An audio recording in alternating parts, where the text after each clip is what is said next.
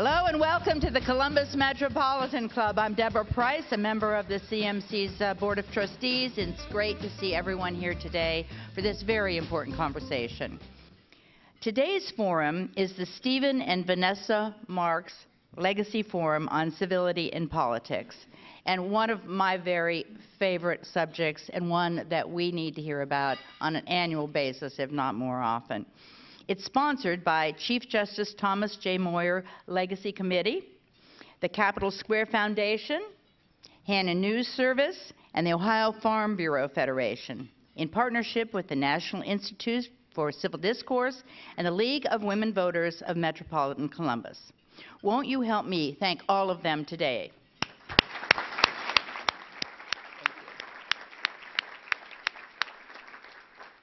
I'm particularly honored um, to uh, preside over this uh, very important piece of discussion in our community. It's a, something that's been very dear to my heart.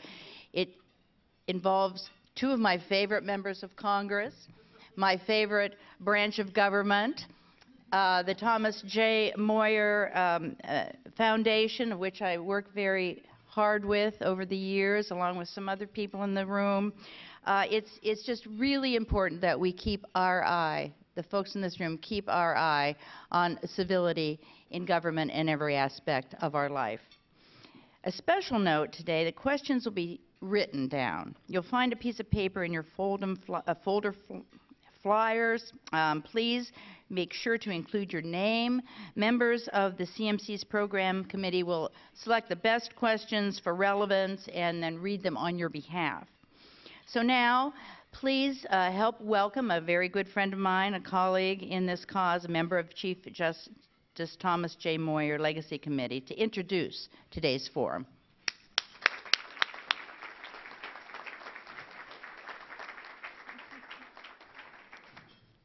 Thank you, Congresswoman Pryce, my old pal, and uh, thanks to the Columbus Metropolitan Club for inviting the Chief Justice Thomas J. Moyer Legacy Committee of the Ohio State Bar Association to support this special event today in collaboration with the National Institute for Civil Discourse. Well, as a member of the Metropolitan Club and a five-time speaker, uh, though the topic was usually Columbus restaurants.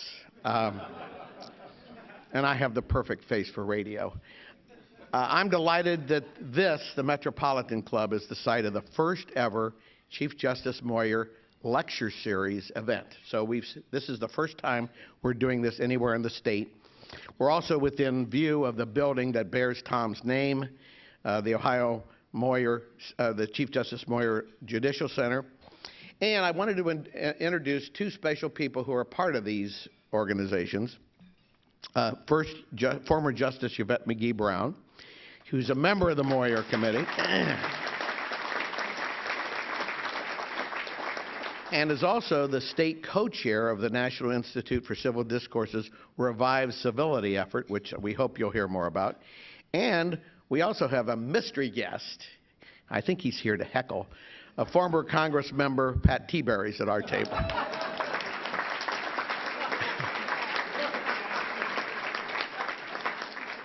Many of you knew Tom Moyer, a great Chief Justice and a leader and facilitator and mentor.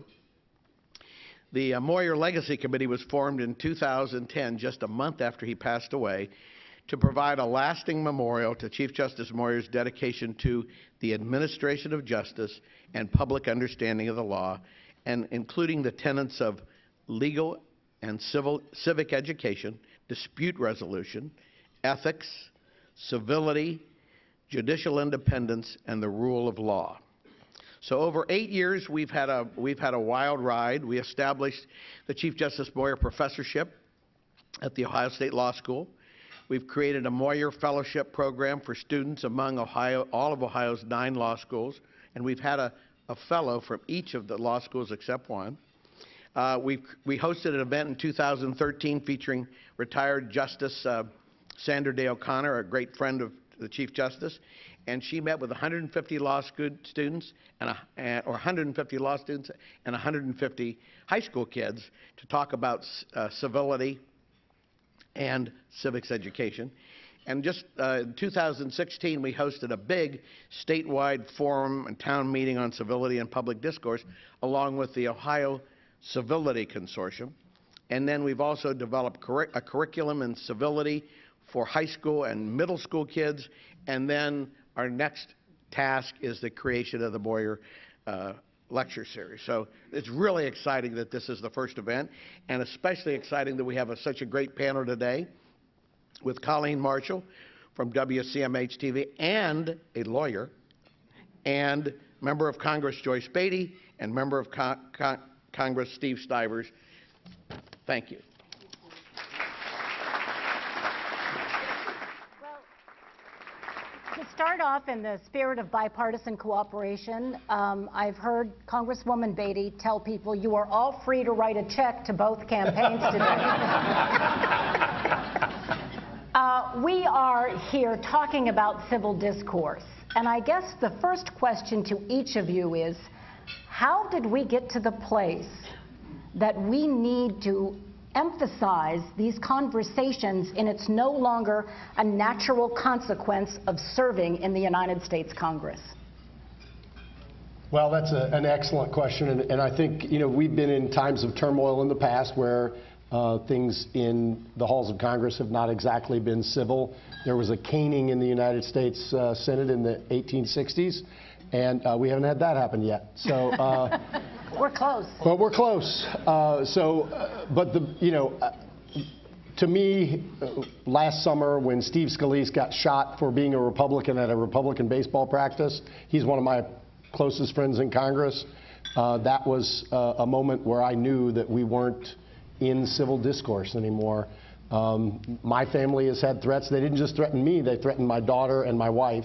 They wouldn't mess with my five-year-old son Sam, so uh, he's in pretty good shape. But um, but it, that's that is uh, intimidating to families, and uh, makes people not want to be engaged in civil discourse.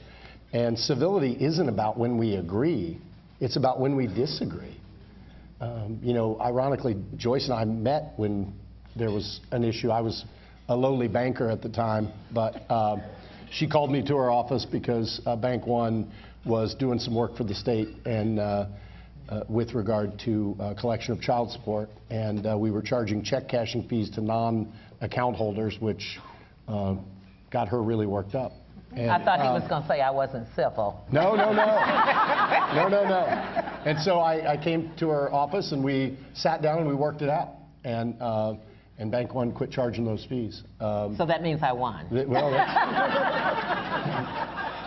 part of what we have to do is do the right things. But uh, we, uh, so we, but and Joyce and I have known each other since then. We've built trust. We don't always agree, but we understand that we shouldn't vilify each other and uh, dehumanize each other. And it's not just in our politics today. There are things going on in high schools all around this country with cyberbullying, and anybody who's got a high school kid knows how bad it can be right now. And social media is part of how we got where we are today because the anonymity encourages people to do things they would never do to your face, Colleen. And how do you characterize how we got to the point that we are, not, not just as a nation, but specifically in Congress, where there's such division? Right. Well, I agree with everything that Steve said, but for me, it started as an elected official. And so, what Steve and I are doing, I would think, is a continuation of what other uh, elected officials, and I'm glad to see Ted Celeste here today. He and Senator Niehaus did a civility training, and it was huge for me. And I thought it prepared me to get to Congress, but when I got there, uh, I was a little disappointed at the freedom that you have to not be civil.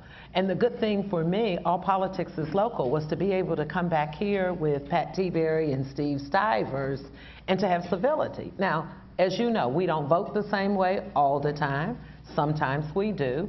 Sometimes it's Steve and I against Pat, or Pat and I against Steve. Rarely they team up on me. But, but I think the, the point of it is when you have people who are doing things that you would not want your children or your grandchildren to witness. And I think we have to be held to a higher standard. And I think that There's a place to disagree, and we do that a lot and on some very serious issues because we come from different backgrounds, different cultures, different political affiliations. But I can honestly say we have never been to the point that we would say things that was disrespectful. And I think the important note to leave on, civility is not about trying to change your opinion or to even influence you. It is to say that you can disagree without being disagreeable. And that was one of the reasons that I thought it was important for us. And we were getting a lot of attention. When I was a freshman, there was a Republican from Utah, Chris Stewart, and I. We pledged that we would work together. Steve and I, as you've heard, have had a long relationship. He has sponsored Democratic bills if you didn't know, I'm a Democrat, he's a Republican. Uh, I've sponsored his bill, and we've both um, been told a few things about crossing over. And let's just say we didn't stop. And so I think for us, it's getting other members to do it. And that's, that's what I want to ask you about. We're launching, you know, we're in Columbus, Ohio. Everybody always says when they visit Ohio, oh, how polite everyone is here. And you two do have a history of working together, and I know Congressman Tiberi the same. I've interviewed all of you, and you all talk about this spirit of cooperation, working when you can for Central Ohio. But when we look at Congress and we look at the tone that we are hearing on the national level, how do you take this mission for public civility and transfer it to a body that is as partisan as I've seen it in my lifetime? Well, uh, what we decided to do was bring together our colleagues. We've started a, a Civility and Respect Caucus. Uh, we've had 10 members join, five Republicans, five Democrats to join.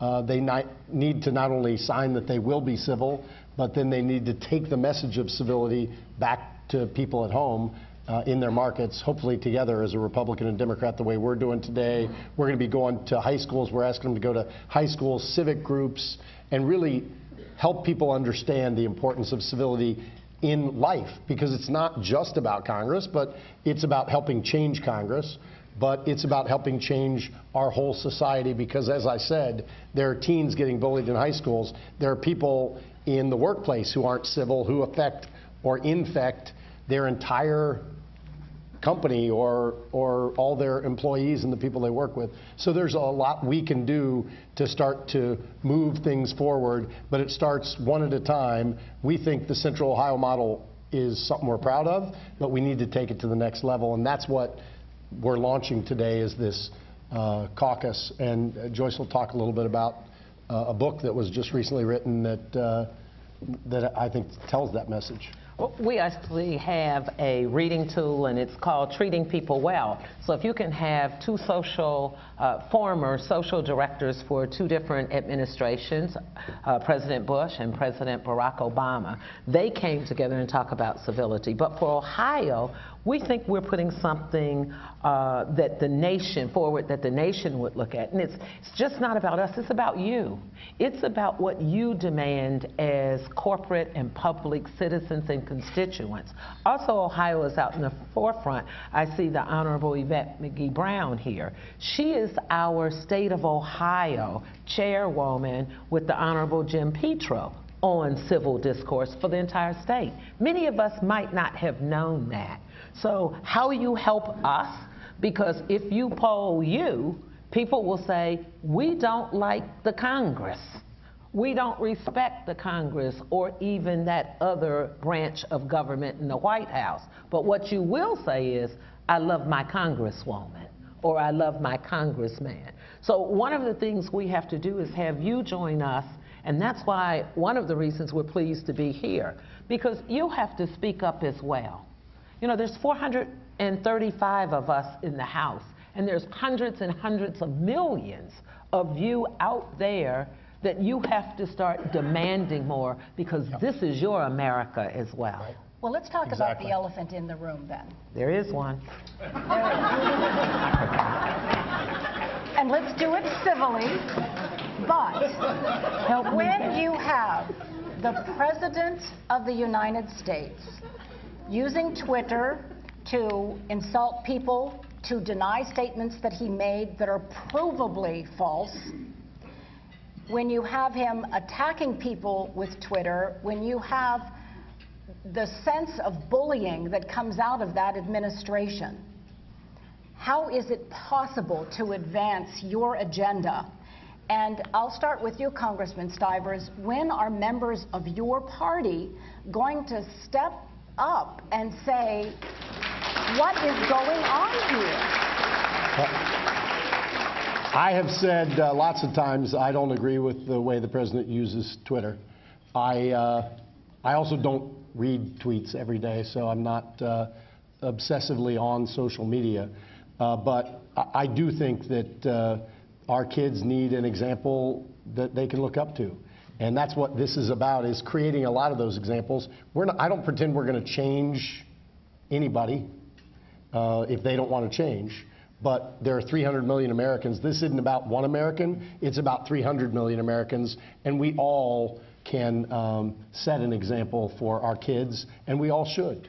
And uh, so I think there are, um, are things that we need to do. And uh, I'm not going to probably comment on, on every tweet every day. Uh, that would keep me way too busy, and I, I have real things I want to do. But, but I do um, stand up when there's things that I think are over the top or uh, just you know things that absolutely need to be uh, countered. So uh, you know I think there are a bunch of members of our of my party who do that. So we'll uh, we you know we need to all try to set the best example we can. Uh, I want to be a good example for my five-year-old and eight-year-old, but I think all of us should be good examples. And there are abuses from people on the left and the right. This isn't about any one person, and we shouldn't make it about any one person. Uh, you know, there's a guy who shot Steve Scalise because he was a Republican. Mm-hmm. I would call that uncivil. Uh, you know, there are people who threaten threaten my family. Um, you know, so it, there are problems in the extremes everywhere, and we need to stand up against it, and, and we all need to be examples for our kids. But he is in the seat of power. He is. And, and I think that a lot of the public frustration, and maybe you can address this, is that, that sets a cloud over government in general. And people are frustrated. People, people are confused and frustrated by the tone that, that is coming out of the White House that then permeates government. And, and let me just say, I, I agree 100% with Steve. Uh, I think when I look to the White House, I'm embarrassed, I'm disgusted, I'm frustrated. But I was also always taught that two wrongs don't make a right. So I think it takes a bigger and a stronger person to do what we're doing. Uh, it's very difficult for me oftentimes, and like Steve, I try not to read the tweets, but some things are such in your face. And so I went to Congress to be a voice for the people, but I also want to make sure that we are not leaving anybody out. So when you do the things, whether it's the shooting with our colleague and friend, whether it's the Charlottesville Nine, when I traveled there and sat there during that funeral, uh, it's all disgusting. But when you're the President of the United States, you should be held to a higher example. Because with that, thank you, because with that, it, it, it, those families that were hurt, but here you're hurting not only our nation, but our behavior affects what happens with our allies and with those who aren't our allies. And so I think we have to be careful. I think it also hurts the economy, it affects the way this nation runs.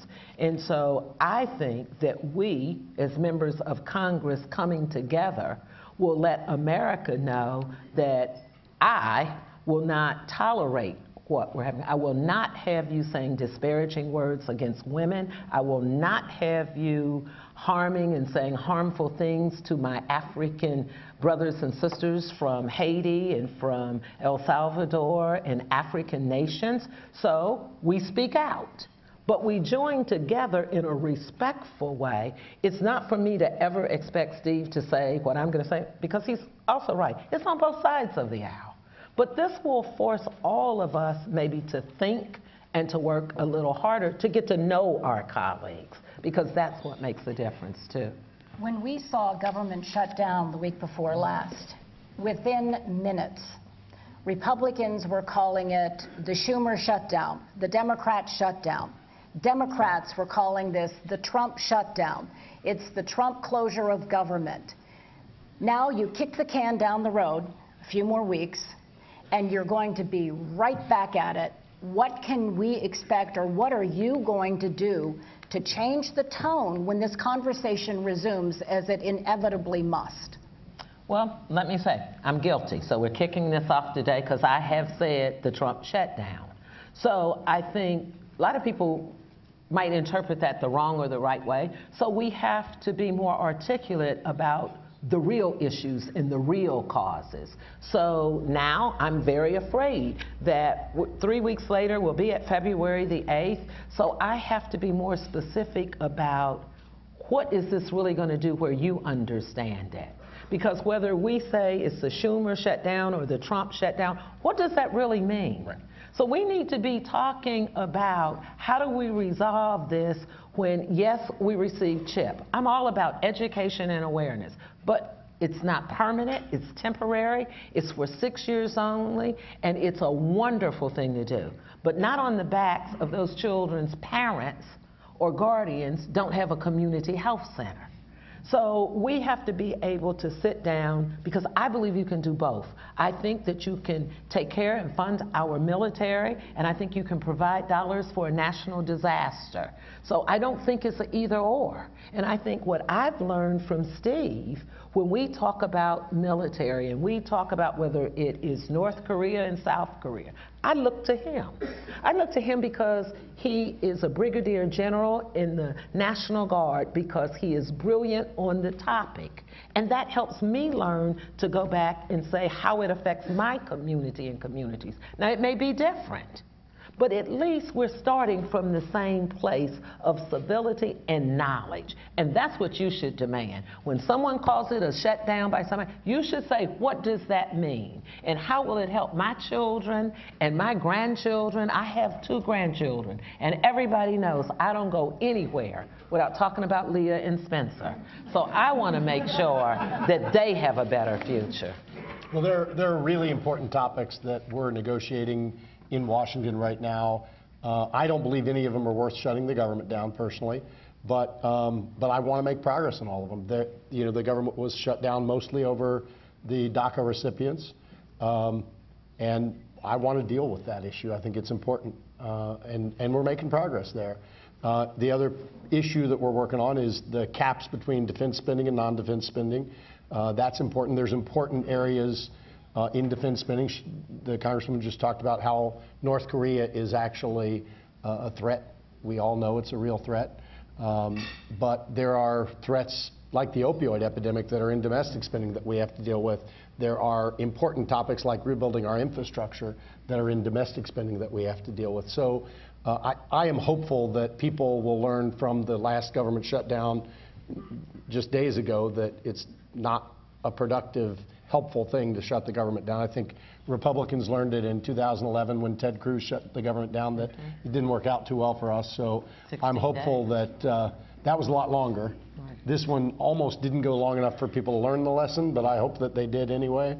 And I'm hopeful that we can all um, make progress on the things that you all care about. And um, that's what we need to, we're all there as your representatives, and we need to stay focused on those issues. But, I, you know, it does always get, whenever there's something that happens like that, the blame game starts immediately. Uh, I don't think we're, this effort is going to change that. Uh, I don't even know that that is, i- there's always going to be politics. I, I'm not, civility doesn't mean anti-politics. Civility means, you know, don't dehumanize, don't attack the motives of your, uh, of the folks you disagree with. So, uh, you know, I- I don't know that we'll change the fact that there will be blame game whenever bad things happen. That'll, that'll happen. But what hopefully we can do is change the way people interact with each other enough that they won't dehumanize each other or personally attack each other, that, that cuts down trust for the long range that will keep us from solving the big problems our country faces. And I, let me just add briefly, I think that's a good statement because if you take, since you mentioned the shutdown, if you look at the bipartisan agreements that were in place, that was Yeah. because of trust. But then when you have a president who moves the goalposts and breaks his word on what Democrat leaders and Republican leaders thought we had, that's not being uncivil. You know, so you're still going to see a lot of that. So we have a problem that's not, in my opinion, directly related to civility with what's happening in the White House. Because if, if behavior is as it has been, I will continue to speak up and speak out about that. But it won't be in a way that would be offensive to my colleague here. It would be one of those differences of opinions.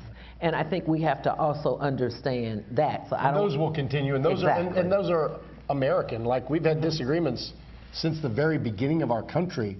If you want to look at an ugly election, go look at the election of 1800 for president um, between two of our founding fathers.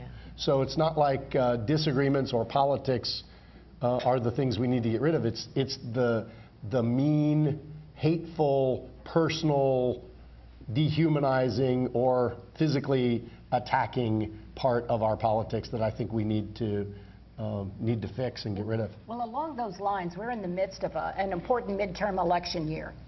Uh, and we all know the tone of the commercials that permeated the airwaves during the most recent presidential election. A lot of candidates that I would talk to about the really negative ads against their opponents, they would say, well, you know, that's an outside PAC. That's not my campaign paying for those ads. That's not my campaign putting that tone in these ads. But they don't repudiate it either. Will you two today take a pledge against negative campaign ads? Uh, I will, I will. I haven't run a negative campaign ad since 2010, but I ran a lot of them in 2010. We remember. But you probably remember those. and the station thanks you for that. Yeah. you guys got rich off that. But, there you go. uh, but I, I will. I will. Ne- I've never run an ad that I thought had something that was um, untrue. I would never run something that's untrue. Uh, I- don't like negative ads. I, I do think contrast ads are fair to say, I believe this, my opponent believes that. Um, but I, uh, I, I don't like negative ads, and, and I uh, definitely would never put anything up that I think is untrue, and I will take that pledge today to never do that. See, we agree. I don't think that I have uh, had negative ads. You've never had a negative ad, have you? No. Uh, but I believe in speaking out. Sometimes there might be tone and reflection and a little bite.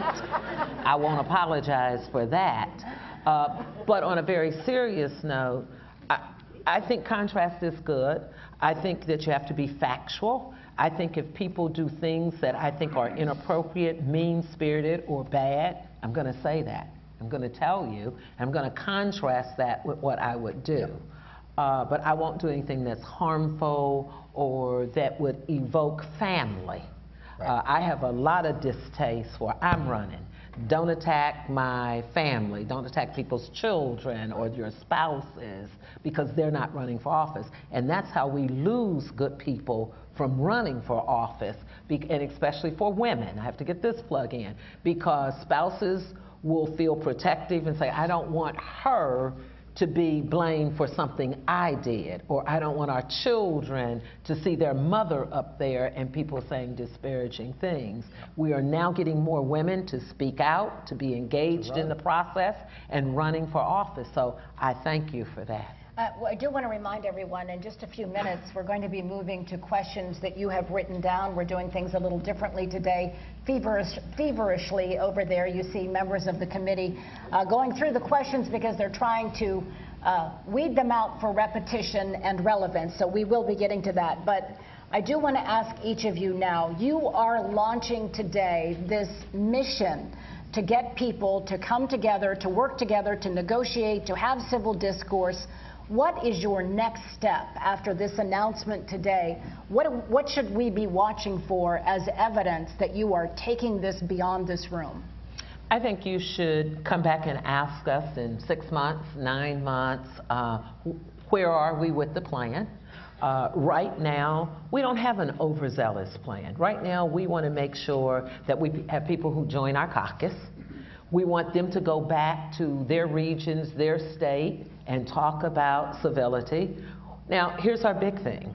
We want to be able to go into the school system and show those young, fresh, creative minds that you can run for office, whether it's in your school as student government or city council or the board of education, and that you can be scholarly and you can still be who you are and still stand up for principles. So we'll get together, we'll figure out the schools, uh, we'll ask you to come join us as we go in and hear what young, brilliant, fresh minds will tell us about civility.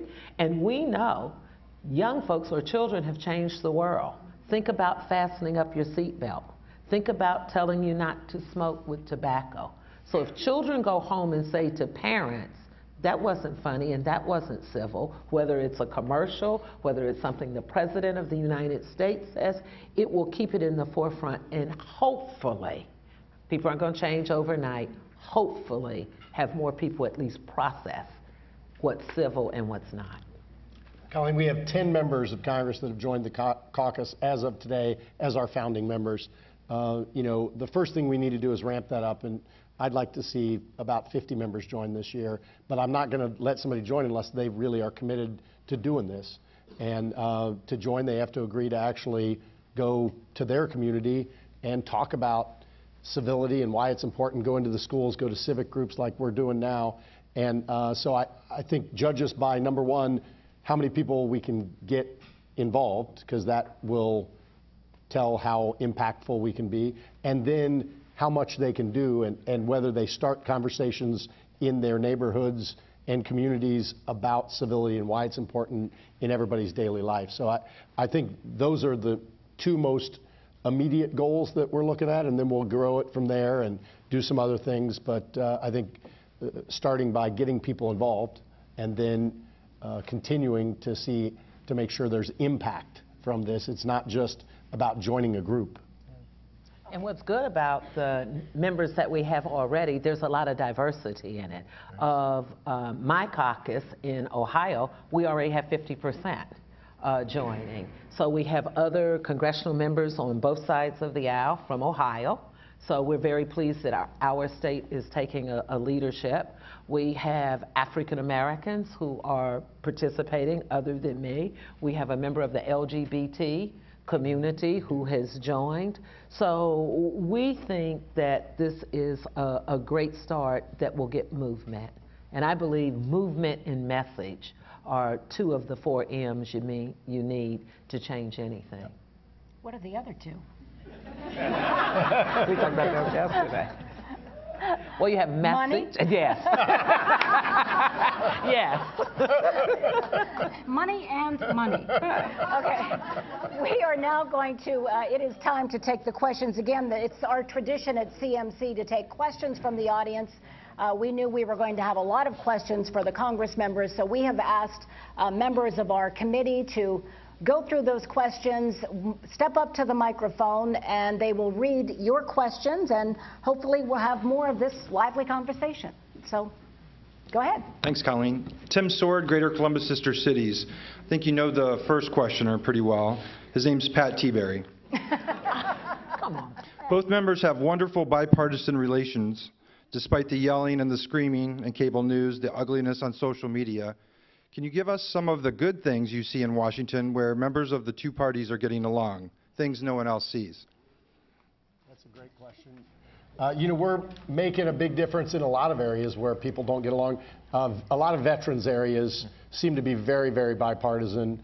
Um, you know, we passed uh, 138 bills that impact veterans last year, from veterans dog therapy, which is my bill, to uh, veterans uh, getting veterans access to uh, headstones, making sure that uh, veterans get access to mental health treatment in a much more effective, efficient way uh, so that nobody's turned away.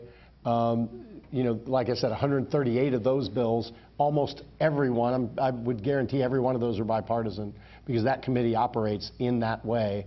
Uh, there are a whole bunch of other issues like that, but that's the one I'm most involved in.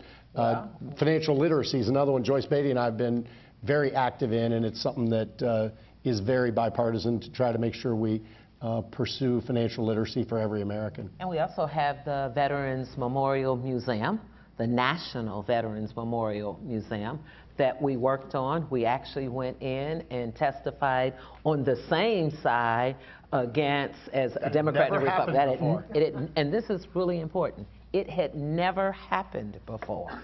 And so we actually, as members of Congress, went in and was on the other side of our members of Congress fighting for this National Memorial Museum That we're going to that we're going to see right over here. And I'm not really pleased to say it, but the hardest questions and opposition came from one of our own members who was a Democrat. And so we had to go in and work it out to get that to get uh, through. We are the co-chairs of the financial literacy. Uh, I see a lot of financial folks in the room. Uh, we also have fought together. I'm a very strong labor person, but I am as equal to supporting banks and financial institutions and believing in economic growth and development. So we have a very tough but will be rewarding uh, to our financial institutions here uh, with our SIFI bill. Yep. And we're probably going to see that be able to come to light. So we do the people things. Some people call that the low hanging fruit or the soft things. But I want you to know we also tackle the big things in working together, whether it's with our partnership, whether it's with the chamber, whether it's actually getting a handwritten note from Les Wexner saying thank you and share this because I too believe in civility and, and this helps the country and it helps our growth. So you don't get to see those uh, types of things. Hi, I'm Deb Hackathorn. I'm with Frost Brown Todd. Thanks for being here. I'm asking this question on behalf of Holly Hollingsworth. She notes that the lack of civility likely keeps really good people from running for office. Um, and she'd like to know how do you and how do we best encourage quality people to run for office given this lack of civility? But, you know, a lot of people don't want to put up with the stuff you have to put up with to run for office. And it's too bad because it does keep a lot of great people from running for office. And the best thing we can do is what Joyce said earlier is each in our own way demand that folks be civil and if they aren't, try to get rid of them. And uh, hopefully that will, over time, encourage more people to want to be public servants where you can make a huge difference for people. I do it and I put up with the stuff we have to put up with because I can make a difference in people's lives. And uh, I do it to make all our kids' lives better. I do it to make sure that we all have economic opportunity and that uh, the circumstances of your birth are not the circumstances of your life. And uh, I believe in those things deeply and, and want to make a difference to help make sure those things continue. And um, so I, that's why I put up with it. Uh, but I will tell you that if my wife was here and you had her under oath, she would tell you that it's not worth it a lot of days. And, and I think for every day that we go home with our spouses, and, and we're very lucky because both of our spouses worked, or my spouse, as you know, is an elected official, so they understand what we do, but most don't. So I would short, briefly just say, for every bad thing that's out there, always think about sharing. And Pat, I thank you for that question. The things that you don't know, because they do on any given day far outweigh the negative things that we see on TV. 80% of the bills we pass in Congress, we pass unanimously or near unanimously. You know, you got to give Thomas Massie a break. He votes no on everything, but uh, but other than that, I think we he pass. sits over there with he's you. one of us. No, he's one of us. he votes with you guys, but he's one of us. So. Hi, I'm Autumn Glover with Ohio State University. I'm reading this question on behalf of Kalitha Williams.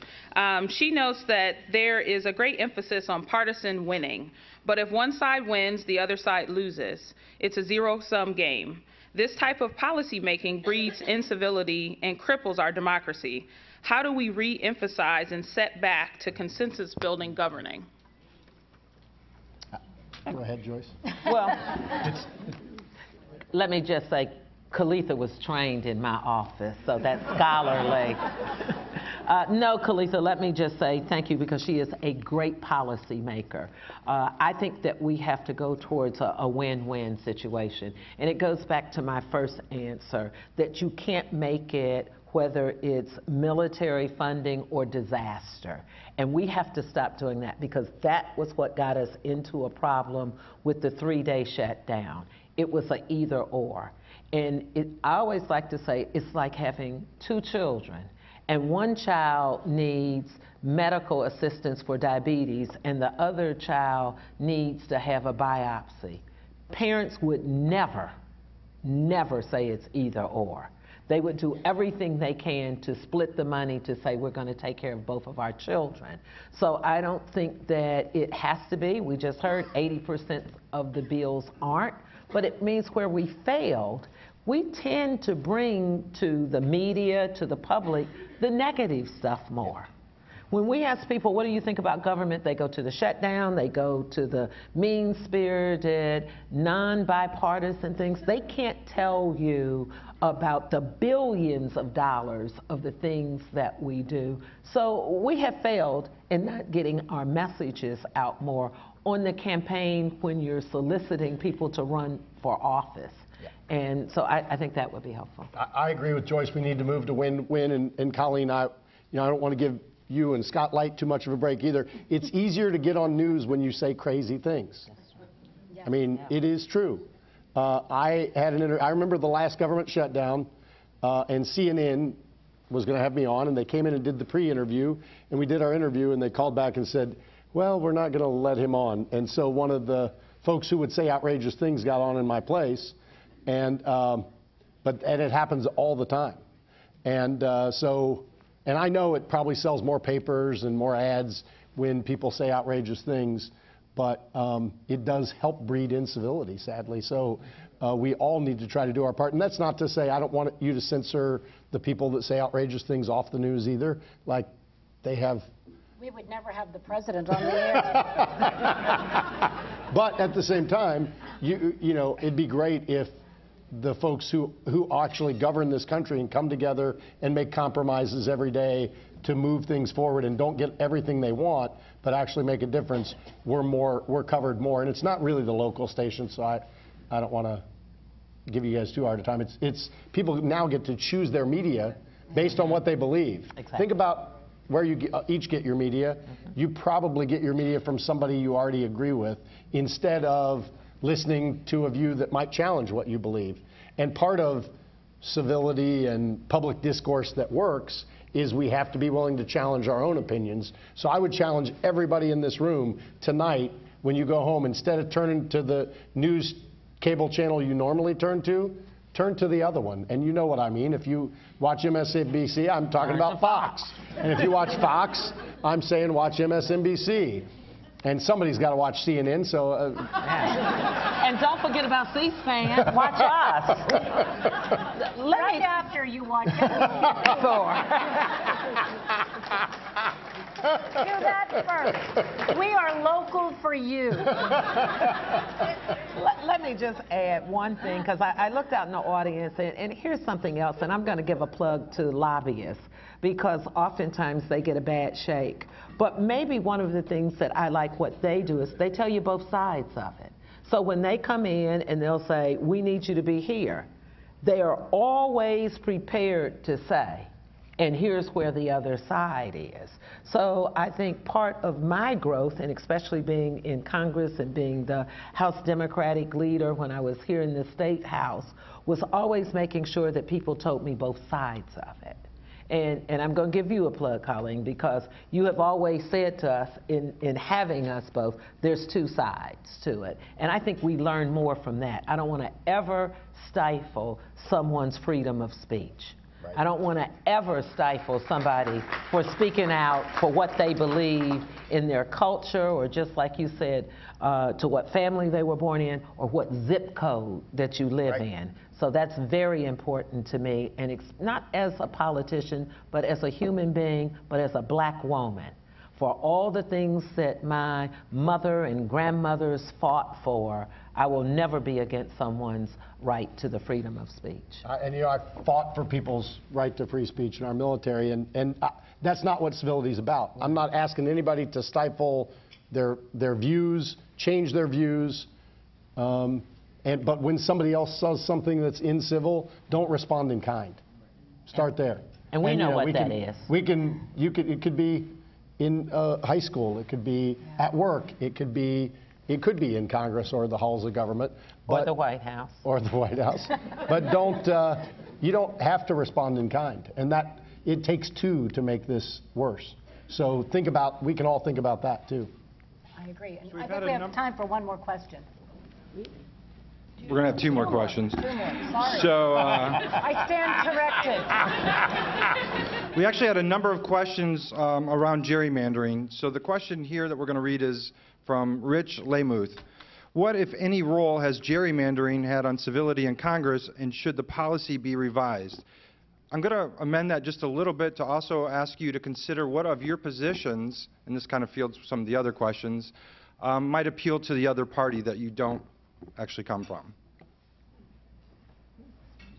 I didn't get his last I I didn't hear that last We part. didn't, your So whi- whi- add-on. Which of your positions do you feel should cross over to the other party, that you feel would be attractive to voters of the other party? Keeping in mind, I think with the gerrymandering issue, Oh, okay. that uh, if you were in a more competitive, that you actually had to go head-to-head with the the opposite party, what of your positions would be attractive to those voters? Well, let's see. Um, So what you're asking me, I don't think we should have gerrymandering for political reasons. Um, So that would be my answer to, to that. Uh, I think, I think you're asking me if I were in a head-to-head race with a Republican, uh, what would he or she like about me, or he- what The I would say? What would the the voters? Oh, well, I tell them, I am your Congresswoman Joyce Beatty. And, and I would tell you uh, that I believe in standing up for the people I work with, and I fight for Democrats, Republicans, and independents, and I would play my commercial, and I would tell them when I was going to Congress, I said I wouldn't go along just to go along regardless of the party, because I don't represent a party. I represent, people. And I would tell them that we run on three things, whether you're Democrat or Republican. We run on economics, you can make that job or development or workforce. Healthcare, you can make it about the Affordable Care Act or taking care of your children and education. Whether you're a Democrat or a Republican, that's the theme of every message in the last four decades that we have ran on. And I'm fair, and I'll work hard for you, and I'll work with you. I'm just gonna win. and that's what I tell them. Follow that. Yeah, she's always tough to follow. I- So I I- I don't think uh, that uh, gerrymandering has been helpful. I think it's been hurtful. But I think the other thing, other side of that, if you try to make every district competitive, you actually divide communities of interest. And so there is a balance there somewhere, because I don't want to make every district competitive by making every district impossible to represent, because you make half the people mad every time you do something. And communities of interest should generally be together, in my opinion. I agree. And so I think there are some always use things. your district as an example. How many counties? You're, you're like an I'm 12 inverted I'm in 12 counties. I have the suburbs of Columbus, and I have a little bit of the city of Columbus, and then I have, uh, uh, you know, Athens? 11 other counties, and we do go down, all the way down to Athens. I tell people they made it to the other districts, and I got what was left. But, um, and it's not like I wanted Athens, believe me.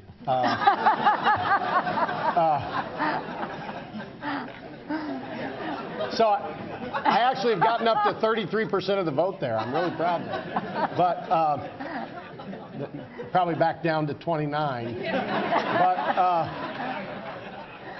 it's, uh, you know, the, we don't get to draw our districts. We just have to try to represent them. And uh, I think there's improvements we can make on drawing our lines, but uh, w- you know, we'll see. There's some efforts going on, and we'll see if they how that works out. Um, but there is there are things you can do that are bad on the other side, in my opinion.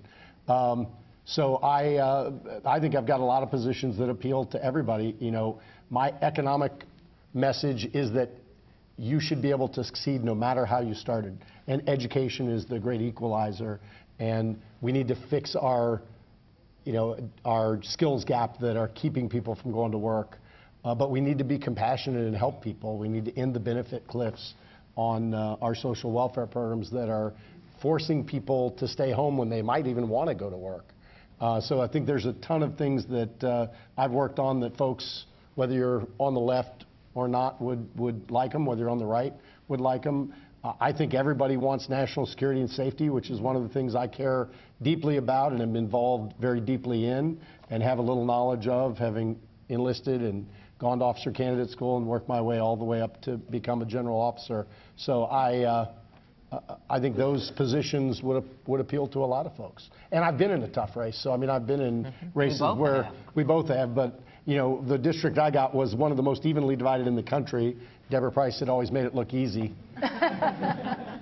And, uh, but it was one of the most evenly divided in the country when I first ran, so it's not like I'm uh, scared of a tough race. I've, I've won some, I've lost one, which I didn't really like losing, but uh, they say it builds character, but I think I've got enough character about now. We have, now this is our final question. I'm Carol McGuire. I'm a member of the program committee, and I'd like to thank everybody for submitting all the questions that you did. I'm just sorry that we've run out of time, and so I have the last question. Um, it's from Pam Dillon. And uh, her question is The National Institute for Civil Discourse states that 78% of Americans think that incivility and political dysfunction prevent our nation from moving forward. Would each of you give one positive suggestion that can be taken away from here today and put into action in the community? Something that will create measurable change. I think if, if people will challenge the way they think on their own and uh, turn into maybe a different uh, form of, of news, maybe the cable channel that they don't agree with, or stay on the local channels, you know, that, that are pretty fair, uh, that, will, uh, that will help. But the other thing is, you know, actually, uh, Joyce and I both said it, uh, think about how you respond uh, to things that you get when somebody is incivil to you, because it, it's not just coming from tweets from people far away. It's coming from your businesses or, you know, in your churches or synagogues. But you have an option of how to respond, and that's that's what I would say. Uh, if there's one takeaway, it's that um, hate builds hate and love builds love. I think uh, you know the quote I used on Martin Luther King Day. I believe very deeply in, and that's that uh, we either have to learn to live together as brothers or perish as fools. Uh, and uh, Martin Luther King said that, and I think that is uh, something we can learn every day. And, and, you know, that might mean I'm telling you to turn the other cheek, but um, you can either choose in your own lives to let incivility make you angry and mad, or you can turn the other direction. And, and that's what I think you should do. I think the only thing I would add to that is that for me, it would be educating our children and saying to adults, learn the word stop. So when something is bad, if you don't repeat it, if you say stop, if we educate our children because their minds are so fresh and untainted, that we would learn from them. And like Steve, uh, I think I've paraphrased Martin Luther King's words when he said, it's not the words of your enemies, but it's the silence of your friends. So, as friends, I ask you to no longer be silent when things are bad. Say stop, support what we're doing, and I think that goes a long way, whether it's media, whether it's corporate America, whether it's our educators, or just our family uh, and friends. Well, speaking on behalf of the media, uh, I do want to point out that you both, and Congressman Tiberi, who's now abandoned his office, but uh, I'm just, I'm just teasing. I'm just, he's going to sue me. Uh, I do want to say that you have always been open and uh, cooperative with the media, and sometimes we do ask questions that you don't want to hear, but you have both done your best to work with us. And on behalf of this audience today, we wish you the best of luck in your civil mission. Thank you. Thank you. Thanks, everybody.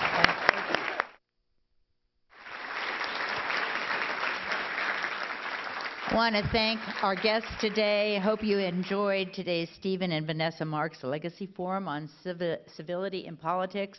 Good luck with the caucus, um, Stephen Joyce and Pat. We are going to miss you. Um, a farewell to you, and let's get together and elect someone else who can work together like the three of them have in the past. Uh, we encourage you to continue this conversation over cookies and coffee. You can view and share today's forum with all in all of our forums on CTV Columbus, on WOSU and PBS affiliates statewide through the Ohio Channel, and anytime on CMC's website via YouTube. Let's thank our sponsors Chief Justice Thomas J. Moyer Legacy Committee, Hannah News Service, Ohio Farm Bureau Federation, Capitol Square Foundation, and our partners, the National Institute for Civil Discourse, League of Women Voters Metropolitan Columbus, and of course, once again, our speakers, Joyce Beatty, Steve Stivers, and Colleen Marshall. Thanks all of you for being here. See you next Wednesday at lunch.